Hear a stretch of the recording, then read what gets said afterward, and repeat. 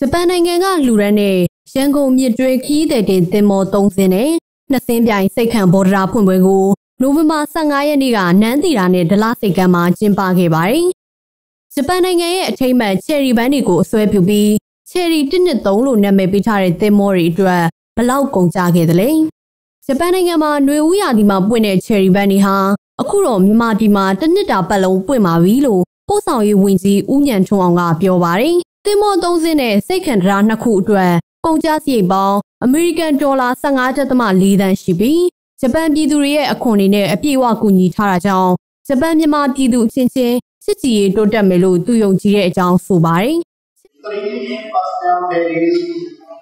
worth more than 13 million US dollars are constructed in Nagasaki shipyard in Hiroshima, Japan. The new passenger tower Newway to be constructed at the last site cost 2.4 million US dollars. Therefore, the total cost of the project is about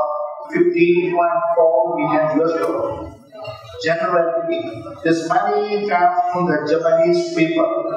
and through tax and revenue. ချယ်ရီတစ်နှစ်သုံးရန်ကုန်ဒလကူတင်မော်တွေပေါ်မှာဈေးရောင်းခွင့်လုံးဝမရှိပဲ ဈေးရောင်းရင်ဥပဒေအရချက်ချင်းအရေးယူသွားမယ်လို့ဆိုပါတယ်